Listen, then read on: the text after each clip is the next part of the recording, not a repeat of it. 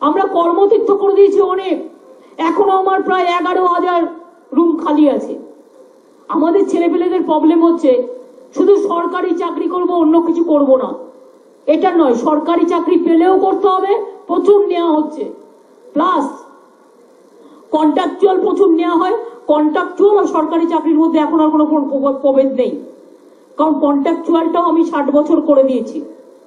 এবং তারা ষাট বছর পরে তিন লাখ টাকা পাবে এবং তিন বছর পর পর তাদের একটা পার্সেন্টেজ টাকা বাড়বে। মনে রাখবেন, এছাড়াও চাকরিতে অ্যাপ্লাইয়ের বয়স চল্লিশ বছর আছে। আগে যেমন আঠাশ বছর, তিরিশ বছর একটা ছিল, চল্লিশ বছর আছে। মানে জেনারেল কাস্টের জন্য। আর শিডিউল কাস্ট তাদের হচ্ছে তেতাল্লিশ বছর ওবিসি তেতাল্লিশ বছর। আর শিডিউল ট্রাইবদের জন্য পঁয়তাল্লিশ বছর।